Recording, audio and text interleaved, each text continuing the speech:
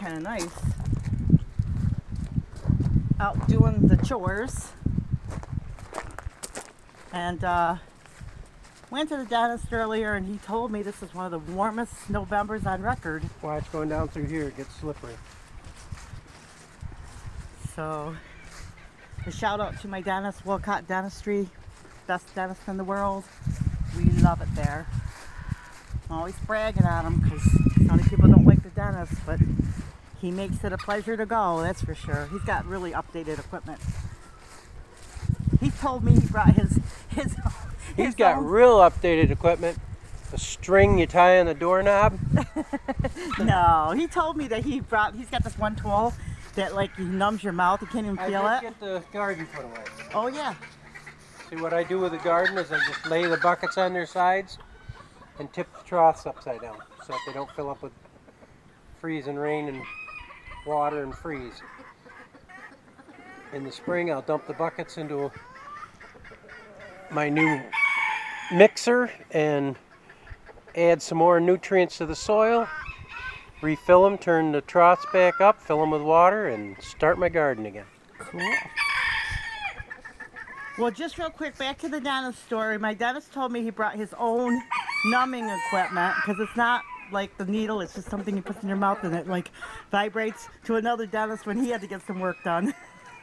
I thought that was pretty cool. Okay, these guys are all outside. Well, that They're wasn't nice. He, he threw the other chicken in the water. You play nice. Can you do a suplex or something? I don't know. My ducks are outside. Daffy and Daisy. Oh yeah. It's really nice out. What is it like 60, right? Oh, I'd say.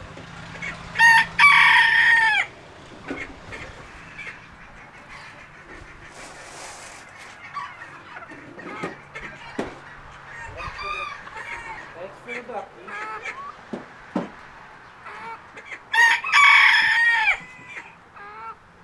That looked like the duck road. It was funny, stretched at the same time uh, another bird crowed. Come on, Fred. Come on, get back.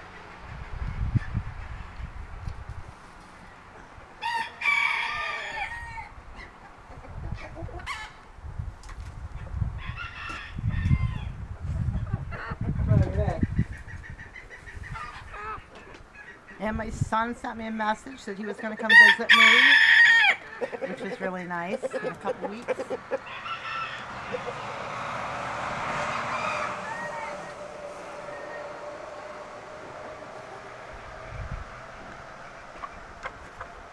Ducks are gonna want this.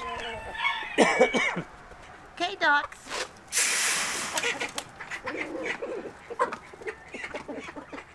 Eat up, Daisy.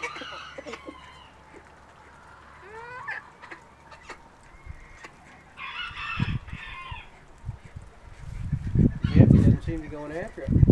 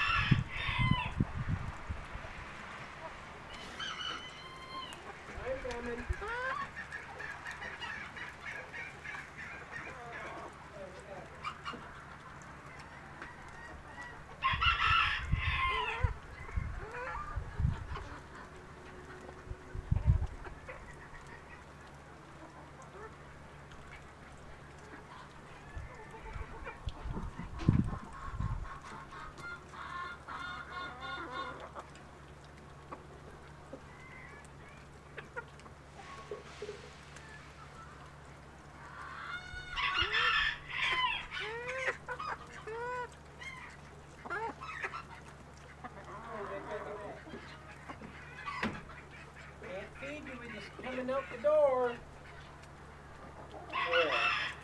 Yeah. Move my water jugs again.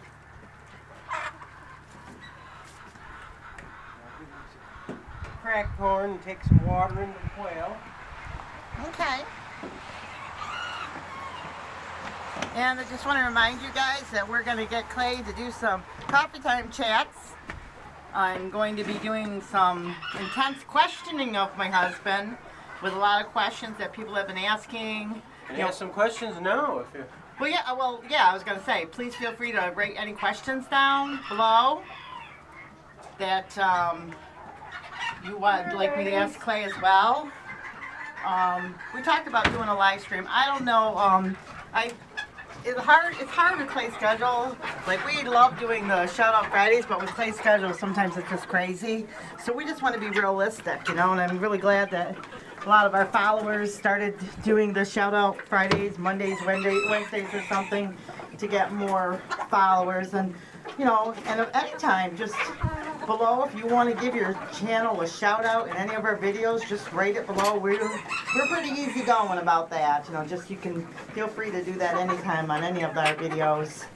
Um, we never feel offended or upset we, we're glad because uh, we're on youtube to help people and uh, that's pretty much when i learned all the things my husband knew i said oh my goodness You gotta get by. You gotta get a scoop of. share that information with others it's so hard to get people that have been farming for 40 years on YouTube because they're they just you know they're busy and things like that. It's just really hard. So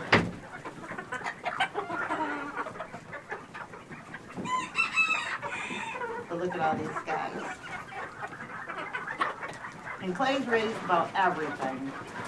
From emu, pigs, goats, horses,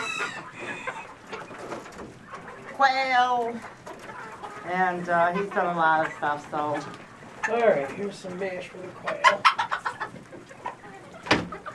Just gave him half a scoop of the other stuff. So what are you feeding the quail right now then? What Well, I that? gave him I gave him some corn and oats, and right now I'm gonna give him some. Gotta get back, guys. I don't want to step on anybody. Okay. You're such little guys. So you're just feeding them all in this one barn now. Yeah, I'm going to Because they can go back and forth. chicken in Oh, look at that. We're not even sure. They're still bickering a little bit because they got all There you got go, guys. together. Okay, yeah, the quail. I step back. I gotta give them their water. So All I right, here we go. So- on, guys. do leave questions in any of our videos, and uh, we'll try to get those answered for you. Give you some water. There you go. One thing that may be of interest to you guys too is I I really don't want to be doing a lot of um, tomatoes next year except for eating because I just felt like the canned tomato stuff and the dehydrated stuff. Um, you can get things so cheap at the grocery store for two people. I don't know if it's worth it. My husband's always telling me this stuff. You still need to put stuff up though, You, I do. for like a tomato powder and that. Okay. Look at those guys are fussing. And, and somebody asked me how long they fight. It's usually till one, like One of them gives up. One of them gives up. It, They don't fight to the death. no, that's like a trained thing. These guys will just fight long enough to see who's the who's the boss, and then when they realize they're not, they back down. So it's like a maybe can it go anywhere from two seconds to two minutes, but that's about it. They don't. If you see them fighting longer than that, that's pretty unusual. Shut the light off in there, dear. Okay, now here's the light. It's just a light bulb. And we don't insulate the barn or anything because it's the drafts that kill them and we just make sure there's no drafts. Make sure the door's tight because they will walk through. Yeah, they will. Alright? Yep, got it. Alright. So, Okay, everybody's taken care of. We'll check Stormy, make sure he's all set. I gave him a big scoop yesterday, so okay. usually one scoop will last him three, four days. I just have to check it. Yeah, because what we do is we don't, we feed the animals every day. Oh, I check them every day. We check them every day, but sometimes some animals don't eat as much. Like Mr. Kitty sometimes will eat a ton of food and then some days he'll have like These half guys, a bowl every these day. guys have a lot of mash in there, Right. but they like their whole kernel corn this time of year because it, see how they cleaned it right up? There's still just a little handful out there. Mm-hmm. The whole kernel corn has a live germ in it that once it starts getting digested, it gives them some heat. So it keeps them warmer. Hi, Bubby. How we sat? Oh, you got food and water. You're good. Yeah, he's He's usually pretty good. I mean, the dog is, he's older. He's like almost, what is he, almost 15 now? Yep. I don't ration him. For like a lot of people only give their dog a couple of cups of food or three or four cups of food a day. Um, I let him have all he wants because I find that if they got food in front of them all the time, they don't eat as much. Right. They eat until they're satisfied. If they if you only give them a little bit at the beginning of the day, they get ferocious appetites and they want to eat everything they they, see because they think they're not going to get fed again. So do you want to walk over to the bees at all? yeah, or- we can. I Just, I a, it's such the, a nice day. We just I swept the bees, the dead bees off and the platform where they kicked the drones out. we were laughing with the girls at the dentist because the bees kick all the guys out. because they have to do everything for them. They can't be feed There's themselves. no boys this time of year. Yeah. And we're not insulating the hives. And you can talk about that here. Well, um, I've been watching a lot of videos, and some of them say that if you wrap the hives, it keeps the doesn't allow the moisture to get out like it should, and moisture is what kills the bees. And in the they, So we're gonna Yeah. we're gonna kind of go by because this is the north. It gets pretty pretty wet and cold. moisture's a big problem up here. Birds stripped a lot of our Oh yeah. raisins off. I guess they had a feast. that's good. But they look at the goju are out. Goji. goji berries or wolfberries. There's still Quite a few.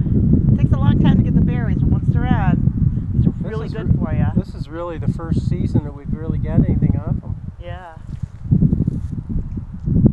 Here's out. And we're going to be doing more and more planting. That's for life, kind of planting for life.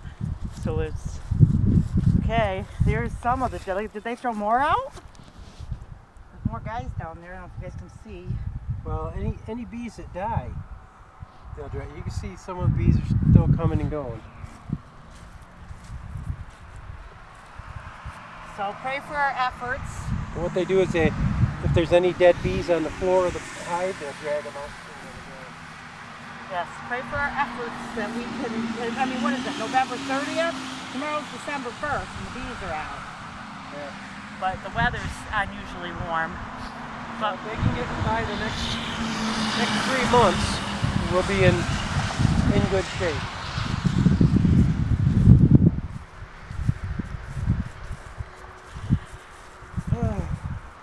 that's our old wheelbarrow. Is that the new one? That's the that's the new one. That's the new one. That's the old one. I'd like to get one with a plastic barrel. Yeah, we'll get that.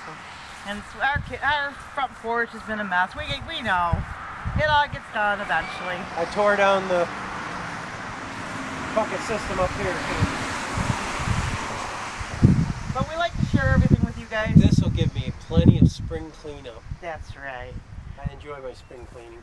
We want to show you the reality. You know, we don't want you to live in a fantasy world. And the reality is, especially since we live with the Amish people so close, we learn a lot from them by talking. Like some of the homesteading stuff that people do, they they would never do because it's too much money, too time consuming. Like I was talking to one girl about crocheting. She cause she said, "I never see crochet because I never learned." One of the Amish girls. And I got thought that was cute. Well, they have other things going on too. Well, they got their garden. They they got use the sewing sewing they sew by hand. Most of the Amish do. well, The fact- Mennonites sew with sewing machines, but In fact, the Mennonite store asked me if I would. Well, they didn't ask me. They invited me to possibly even crochet for them, but I don't really have the time to do that. But it was just kind of cute. I got tickled at that. So, you know, well, they're business. They're in a business. So, but we may sell them some of our honey. I don't know. We donate most of the things on our farm. We don't really. We're not for profit. so. all right. Okay, guys, we will see you in our next video. Bye bye. Bye bye. God bless.